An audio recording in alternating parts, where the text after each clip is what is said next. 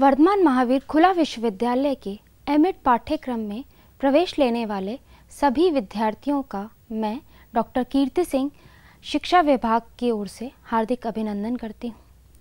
आज हम educational management, शैक्षिक प्रबंधन के बारे में चर्चा करेंगे। यह एक ऑप्शनल पेपर है, ऐच्छिक पेपर है।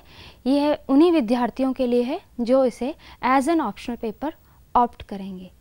विश्वविद्यालय की ओर से इसे एम ई डी बारह का कोड दिया गया है। यह कुल आठ क्रेडिट का पेपर है। एक क्रेडिट तीस घंटे का होता है, अतः यदि आप इसे 240 घंटे अध्ययन करते हैं तो आप इसमें सफलतापूर्वक उत्तीर्ण हो सकते हैं।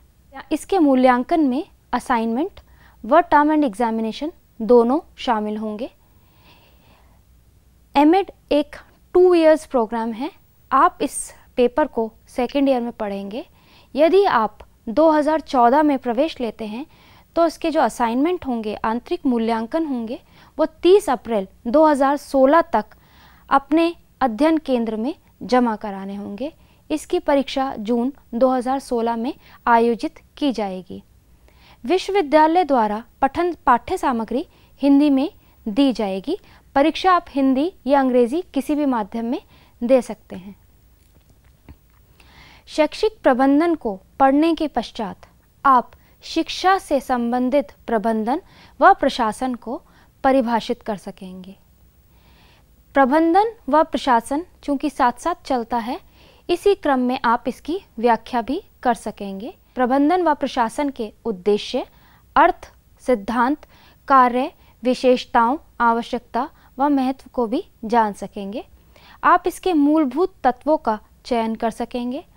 शिक्षण संस्थान में सामाजिक प्रणाली के समन्वय हेतु प्रबंधन किस प्रकार किया जाता है?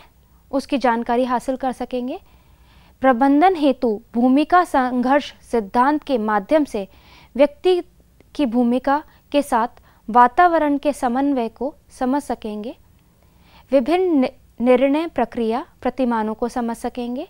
संगठनात्मक दृष्टिकोण पर आधारित विभिन्न शैक्षिक प्रशासन व प्रबंधन के सिद्धांतों को समझ सकेंगे। व्यवहारवादी उपागम की अवधारणा, विशेषताओं व महत्व को जान सकेंगे। प्रणाली उपागम की अवधारणा, विशेषताओं व महत्व को जान सकेंगे। प्रबंधकीय भूमिका उपागम की अवधारणा, विशेषताओं व महत्व की जानकारी प्राप्त कर सकेंगे। संपूर्ण गुणात्मक प्रबंधन की ऐतिहासिक स्वरूप के साथ साथ उसके अर्थ उद्देश्य, सिद्धांत, कार्य, विशेषताओं व आवश्यकता के महत्व को जान सकेंगे। शैक्षिक योजना के अर्थ को समझ सकेंगे। उसकी विशेषताओं, आवश्यकता व महत्व को जान सकेंगे। संगठन का क्या अर्थ होता है, उसके क्या उद्देश्य होते हैं, किसी भी विद्यालय में, इसके बारे में जानकारी हासिल कर सकेंगे। शैक्षिक प्रशासन व प्रबंधन में नेतृत्व का क्या अर्थ होता है, उसके उद्देश्य क्या होते हैं उन, वह किन सिद्धांतों पर आधारित होता है, नेतृत्व की क्या विशेषताएँ होती हैं, आदि के बारे में जानकारी हासिल कर सकेंगे। संगठन का अर्थ, उद्देश्य, सिद्धांत, विशेषता के महत्व को जान सकेंगे। शैक्षिक पर्यवेक्षण का अर्थ, उद्देश्य, सिद्धांत व महत्व को जान सकेंगे।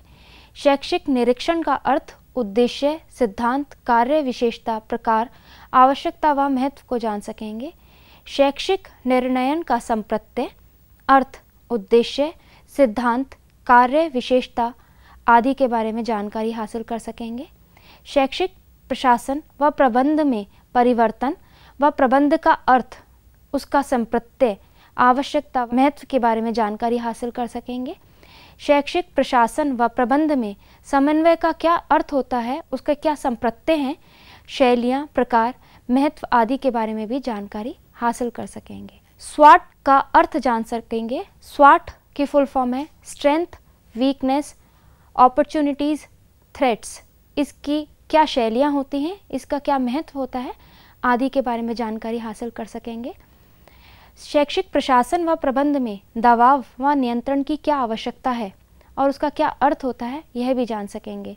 समय प्रबंधन को जान सकेंगे, शिक्षा में नवाचार को जान सकेंगे, शैक्षिक प्रशासन व प्रबंध में संवैधानिक क्या प्रावधान हुए हैं, उनके बारे में जानकारी हासिल कर सकेंगे, विद्यालय प्रबंध के उद्देश्यों के बारे में जानकारी हासिल कर सकेंगे, इसके अतिरिक्त शैक्षिक प्रशासन व प्रबंध में निरीक्षण व मॉनिटरिंग की क्या आवश्यकता है, उसके बारे में जानकारी हासिल कर सकेंगे। इसके अतिरिक्त मैं आपको पहले ही बता चुकी हूँ, जो उसका मूल्यांकन होगा, उसमें असाइनमेंट और टर्म एंड एग्ज़ाम दोनों होंगे। यह कुल 100 अंकों का होगा, जिसमें 20 अंक असाइनमेंट को दिए गए हैं और 80 अंक टर्म एंड एग्जामिनेशन को दिए गए हैं। जो प्रश्नों का प्रारूप रहेगा, वो आप स्क्रीन पर देख सकते हैं। 20 अंक का जो असाइनमेंट होगा, उसमें से चार में से चार प्रश्न हल करने होंगे। जो एक शब्द या एक वाक्य के होंगे, जिन्हें चार अंक दिए गए हैं।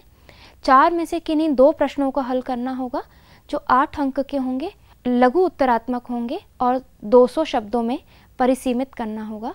दो में से किसी एक प्रश्न को हल करना होगा, जो आठ अंक का होगा, ये निबंधात्मक होगा और 800 शब्दों में परिसीमित करना होगा।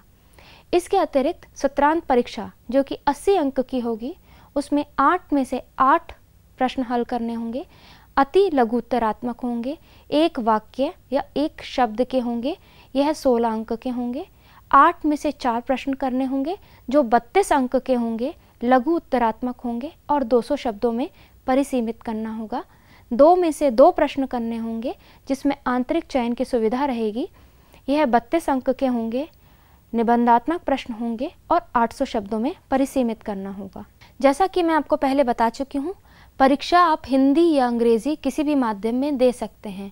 पर चूँकि पाठ्य सामग्री हिंदी में है तो वह लोग जो अंग्रेज़ी माध्यम के हैं, उनके लिए कुछ सजेस्टेड रीडिंग्स स्क्रीन पर आप देख सकते हैं। कुछ इसमें पुस्तकें हिंदी की भी हैं, जिनकी सहायता से आप टर्म एंड एग्जामिनेशन में और असाइनमेंट में हेल्प ले सकते हैं। JC Agarwal supervisory practices and educational administration मैजलॉ improving school administration R S Sharma विद्यालय संगठन तथा शिक्षा प्रशासन, JP Verma and Manju Verma school management, JP Singhal प्रबंध, ऑड एंड वर्मा शैक्षिक प्रशासन, S N Mukherjee administration of education, planning and finance, R P Bhatnagar and Vidya Agarwal educational administration, Ashok Sidana and Anjali Sharma educational management and school organisation Dev Datta Sharma, शैक्षिक प्रबंधन के मूल तत्व, S P सुखैया, विद्यालय प्रशासन एवं संगठन, R A Sharma, शिक्षा प्रबंधन। इस पाठ्यक्रम से संबंधित यदि आपको किसी भी प्रकार की समस्या आती है तो आप मुझे संपर्क कर सकते हैं। इसके अतिरिक्त डॉक्टर आर आर सिंह, जो कि इस कार्यक्रम के समन्वयक भी हैं और संयोजक भी हैं से भी संपर्क कर सकते हैं, जिनका मेल आईडी आप स्क्रीन पर देख सकते हैं, R R Singh at V M O U dot A C dot in thank you so much